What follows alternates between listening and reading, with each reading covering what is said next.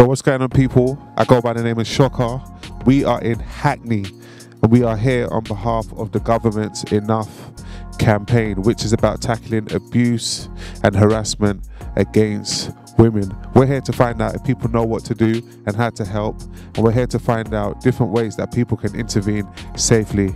Follow us and watch what happens today. If someone you knew sent you a naked picture of someone else without their consent, what would you do? I'd call them out on it and ask the question, what's the reason for you doing that? What's your motivation? I would tell the person and I would just, I'd ask my friend about it and I, I think I'd tell an adult most importantly because I think it's just, there's no, nothing like that you should have in your hands and I think someone that has more experience should know about it so they can sort it out. I'd report it because it's just wrong. I don't think that people should be doing that. Consent is a very important issue that people need to understand. Assuming I know the person in the picture, I'm going to definitely reach out to them. I'm going to let them know that this guy's going around sending naked pictures of them to other people. I think it's their right to know that this is, this is happening. Different people have different opinions on how they want to progress the situation, so I wouldn't think that it's in, it'll be fair for me to then make that decision for them. So, you know, I talk to them, see what they want to do, and then just help in any way that they see fit. Have to get the police involved, because that's not right. I think anything to do with sex always has to be consensual. What do you think the impact would be on a person that's gone through that? I think it could lead to like a range of things like trust issues. Like in the future, they're gonna maybe find it really, really difficult to maybe open up to anyone else in the future, and it's not the type of thing where you can just get over it. You know, it can be really emotionally like distressing.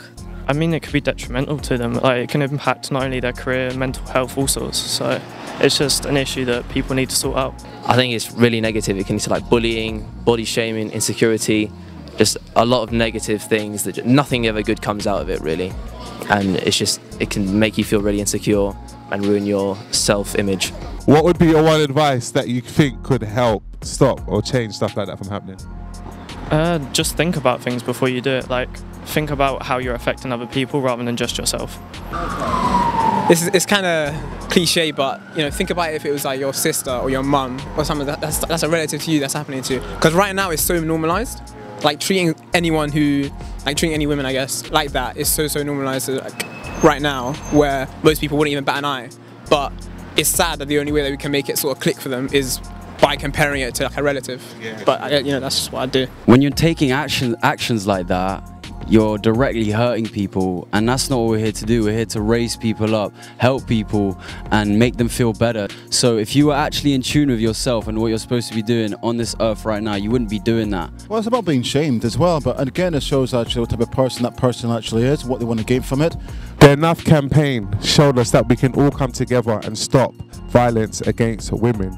If you see someone being abused or being harassed, you can use the stop policy, which is say something, tell someone, offer support, or provide diversion. If there's anyone around you that's acting in a way that you don't like, call it out or say something. It's a conversation that's difficult, but it's worth having because it can prevent abuse. If you know someone that's currently going through abuse or harassment, direct them to gov.uk forward slash enough.